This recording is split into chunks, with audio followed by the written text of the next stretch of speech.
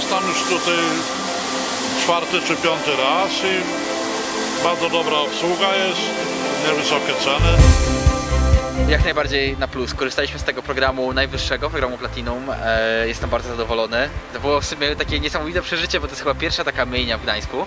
E, trochę wrażenie amerykańskie sprawiała i no, nie dość, że dała nam dużo fanów w środku w samochodzie, to efekt jest jak najbardziej zachwycający. Znajdujemy się w jednym miejscu, gdzie znajdziemy wszystko. Myjnie, odkurzacze, suszarkę do samochodu. Jest bardzo fajnie to skonstruowane, ponieważ jest zamknięte pod jednym dachem. Nie musimy jakby zważać na warunki atmosferyczne na zewnątrz. Staram się być jak najczęściej, średnio raz, dwa razy w tygodniu jestem tutaj na miejscu. najdłuższa myjnia w Polsce z tego co słyszałam.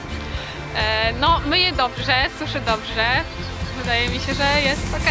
W porównaniu do innych myjni, no widać różnicę przy myciu.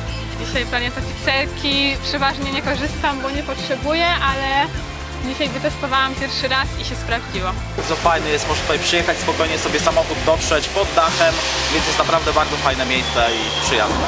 Bardzo fajna, bardzo dokładnie myje. Najlepsza myjnia w Trójmieście.